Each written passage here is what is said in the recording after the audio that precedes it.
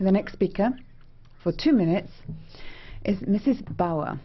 Köszönöm szépen, elnök úr! 2008-ban a bizottság gazdaságélénkítő tervében Thank you, Mr. President.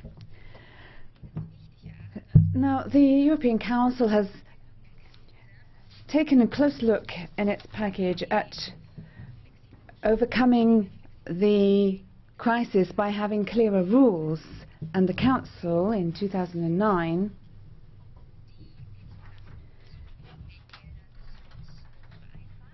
simplified access to funds. So solidarity was the mm, underlying principle for introducing this crisis derogation.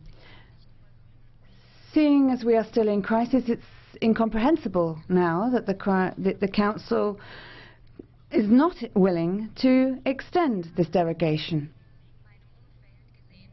Now, I have seen around me that a number of traditional companies such as Malev, uh, the, the airline company, have gone bankrupt, and a number of companies have gone bankrupt, which means that a, a huge number of jobs have been lost. So all in all, I do not understand why the Council is hesitating uh, to extend this crisis derogation.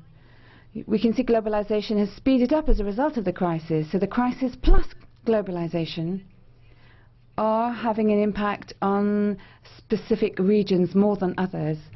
It is absolutely unacceptable to argue that uh, extending this crisis derogation would actually jeopardize the EGF. So I call on the Council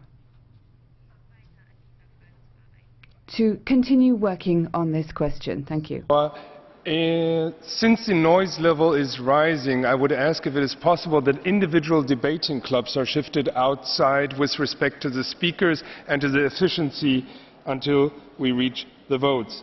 Next speaker would be Mrs. Costello for one minute, please.